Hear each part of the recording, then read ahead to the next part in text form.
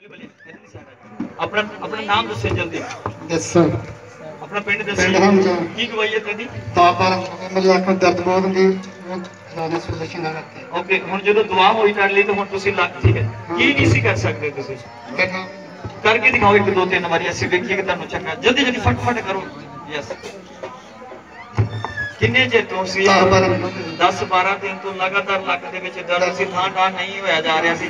ਹੁਣ ਦੁਆ ਹੋਈ ਤੇ ਕਿੰਨੇ ਚੰਗਾ ਕੀਤਾ ਹੈ? ਉਹਦਾ ਨਾਂ ਕੀ ਹੈ? ਕਿੰਨੇ ਚੰਗਾ ਕੀਤਾ ਹੈ? ਇੱਕ ਯੋਧ ਨਾਮ ਸਰੀ